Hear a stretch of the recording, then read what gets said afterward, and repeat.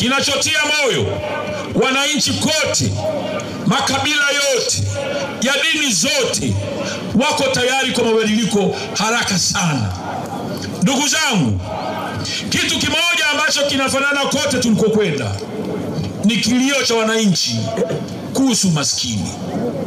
Kila tulikokwenda, hakuna mahali tumekuta watu wana nyuso za furaha. Watanzania wamesahau kuwa na furaha, kila mahali wanalalamika.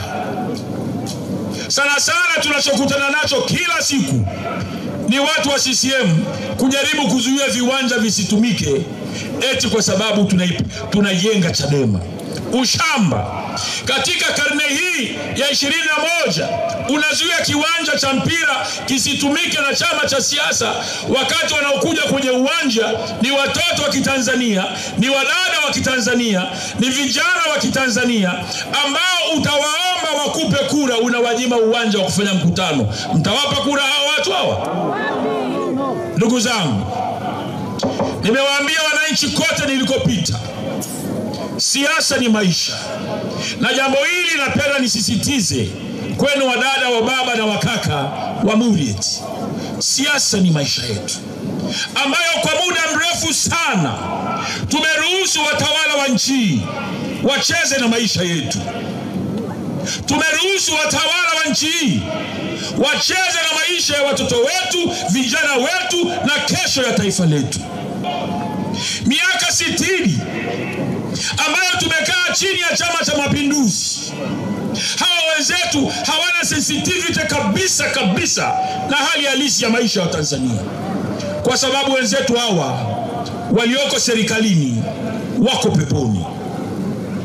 Nimewaambia jeshi la polisi, hii kazi tunayoifanya inawahusu Watanzania wote wenye akili timamu walioko hata ndani ya Chama cha Mapinduzi. Nawaambia ndugu zangu, polisi, walimu, watumishi wa umma, wamama wote, wakaka wote, wanajeshi wetu, usalama wa taifa. Kama tunataka usalama wa taifa hili uwe endelevu, lazima kutafuta solution kukabiliana vijana wengi ambao kila siku wanaongezeka mtaani, hawana ajira, hawana kipato cha uhakika. Usalama wa nchi hii uko mikononi mwa ufumbuzi wa kiuchumi katika kuibadilisha Tanzania, na haya majamaa yaliyoko ofisini leo hayana uwezo huo. Ndio sababu nakuta mkuu wa mkoa, kuna shida ya shule, kuna shida ya wakulima na wafugaji, kuna matatizo ya barabara. Mkuu wa mkoa kila siku anataka na iambia na CCM yale yanayotokea Kenya, wabunge wanakimbia magari yao, wanapanda bajaji ya watoto kuingia barabarani na kupiga mawe viongozi wa serikali na kuchoma nyumba zao.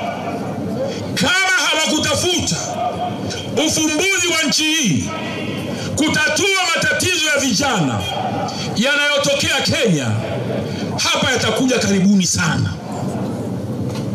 Kenya kinachotokea kikija Tanzania, hawana mbinu hata moja ya kuwadhibiti vijana, kwa sababu vijana wana hasira na viongozi wetu hawajifunzi.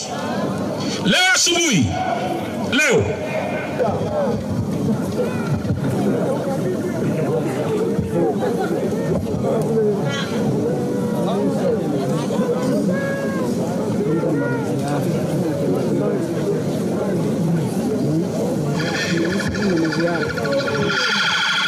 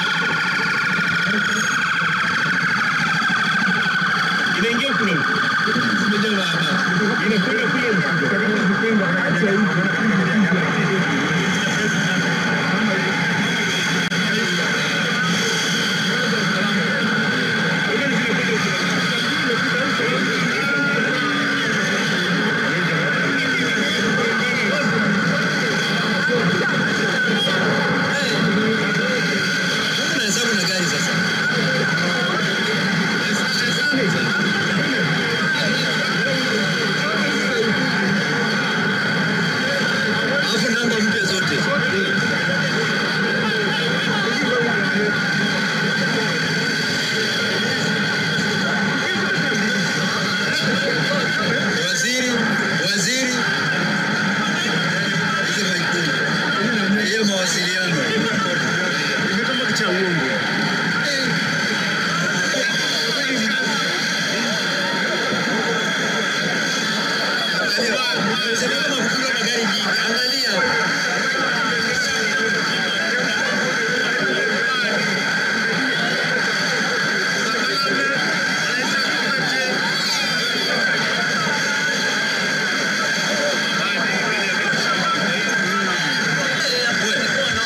Jamani, niendelee, si mnaona sasa? Hizi ni gari za gharama. Hizo gari zinaendeshwa kwa mafuta, kodi zetu, kodi zenu. Yaani, wakati wa Tanzania wana shida za kutosha Nimepita katika maeneo mengi, zaidi ya robo tatu ya maeneo tumekwenda, wananchi wana shida ya maji. Viongozi wetu, msafara wa rais una gari mia moja na hamsini gari mia moja na hamsini ambazo ni gari za gharama kubwa, sio haya ya zamani. Haya ni gari za miaka miwili mitatu, mwaka mmoja, mapya na mwaka huu huu serikali ya CCM imetenga shilingi bilioni mia nane na tisini kununua magari mengine mapya. Unajua, Watanzania mkiambiwa bilioni hamuelewi. Bilioni unahesabu shilingi milioni moja, hiyo kila mmoja hapa anaijua, si ndio? Unahesabu milioni moja, unaongeza hapo ya pili, ya tatu, zinafika kumi. Unaongeza zinafika mia moja milioni mia moja. Unaongeza zinafika mia mbili mia tatu mia nne mia tano. Zinakwenda mpaka mia tisa. Milioni elfu moja ndio bilioni moja sijui menielewa yaani ukisikia bilioni mjue ni milioni elfu moja. Ndio zinatengeneza bilioni moja. Basi hawa wanaume na wanawake dodoma mwaka huu wametenga shilingi bilioni mia nane na tisini kununua magari ya serikali yaani haya mambo yanatakiwa yatie watanzania hasira. Hizi fedha ukisikia fedha za serikali sio fedha za serikali ni fedha za wananchi walipa kodi. Tunasema rais anahitaji magari anahitaji ulinzi. Ni sahihi kabisa. Lakini gari iko kilomita tano tangu rais amepita. Mnamlindaje huyo rais